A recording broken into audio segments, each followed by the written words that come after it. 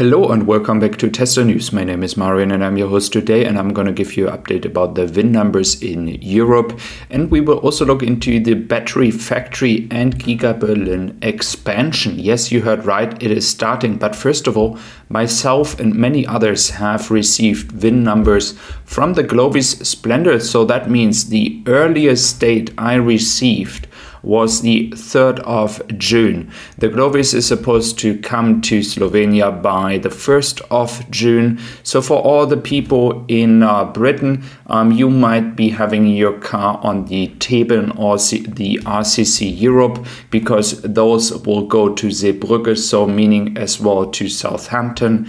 But the Glovis Splendor, that is just for Switzerland, uh, Italy, or Austria, or south of Germany. That is what the cars are on there. So, um, yeah, looks very good. We finally have some cars coming to Europe.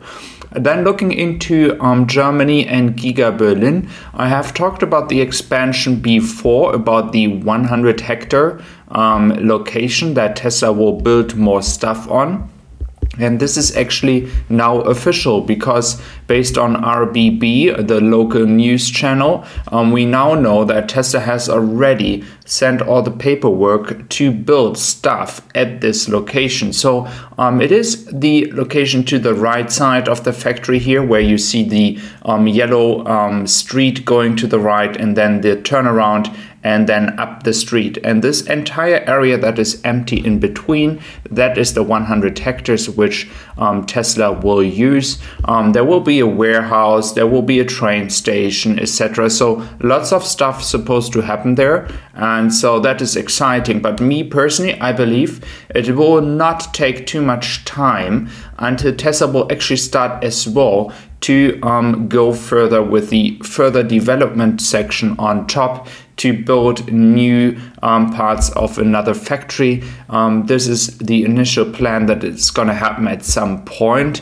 Um, I think that Tesla does know how long it takes and we want to see in two years um, latest the Model 3 and I don't see any possibility to have the Model 3 in the same building as it is right now. So it would make a lot of sense for Tesla um, to start with the application for this part of the land as well soon. Um, I will of course give you an update about that once I do know that. So if you don't want to miss any updates, do consider subscribing to my channel. I would really appreciate that.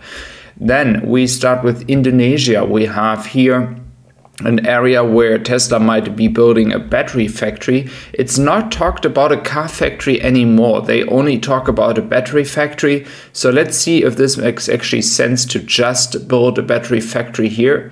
But again, I just want to remind everybody um, last year um, there were 300 gigawatt hours of batteries installed worldwide inside um, cars or EVs to be exact, and 75% of those batteries came from China. And I think, based on the experience we have as well in Europe right now, with the dependence on gas or oil for certain countries, um, I think we all agree it is not right that China controlled 75% of the battery supply. So it's very important for Tesla to move forward and as well build battery factories in Indonesia or like we do know in Austin, Giga Berlin, um, they have one in Nevada. So there is a lot of areas pe um, people can get more independent by building factories. This is what um, Europe tries to do as well, build a lot of new battery factories to get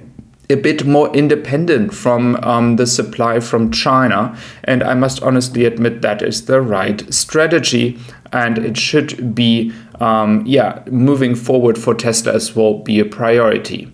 Then we are looking into Germany, which is interesting. You see now 12 free places but you also see those places by the number and the letter 3A, which are not available because they're broken. So you can actually see that.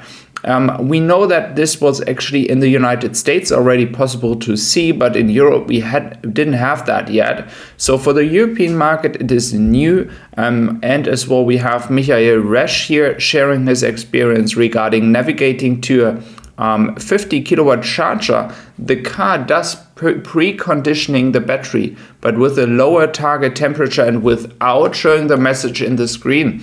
Um, also, that is new. Um, the car seems to not do that when it is going to a supercharger or other HPC. It acts like usual. So you see the battery is already reacting based on your um, travel um, goal and your travel destination where you go and which um, charger you're gonna take. Um, and then we're gonna look into the navigation energy prediction, which is also very important. And not only is it improved, um, it is also not only taking the crosswind, no, it is also taking the ambient temperature. So this is also not a bad point um, to make it more efficient to see what distance can you actually travel. I mean, what is the actual um, prediction. Um, and it is getting more and more accurate now because they take more and more stuff into effect, um, especially the crosswind is not to underestimate. Then looking at Giga Shanghai is now fully operational um, based on Cowdrey. Um, that's what I said a few days ago. Once the shift is now starting again, it seems like the entire supply chain um, is going okay right now and they are able to produce as well. So second shift is there and seems like they can now produce 2,600 units per day. So um, that is exciting. That is very good news. 24 hour shifts. Um, so we should see a lot of cars coming out of the factory now and I do expect um, record numbers here 26, 26 um, would be 52, and another um, 26,000 uh, cars. Um, so that would be close to 80,000 cars if they are very fast with that. Then we are looking into Santa Monica, and we have new pictures here from the design of the diner, um, the Tesla diner. Um, so this is supposed to be open 24/7. That is um, reported in the local newspaper in Los Angeles. Um, so 24/7 um, diner. That is very exciting, guys. I mean, 28 stalls, supercharging, LED movie screens. I mean, that is cool. I do like that concept. Um, something that um, Tesla could do even more in the future would set them really apart and would make the location a place a place to be, um, and that is very important. So um, yeah, very glad to see that Tesla is moving forward with that, and I hope that um, we will see stuff like that in Germany maybe in the future as well. So thank you very much for being here today. I really appreciate your time. If you have been new to my channel and you do like updates from Europe, do consider subscribing to my channel so you're not going to miss anything anymore. And I wish you a wonderful day. Take care.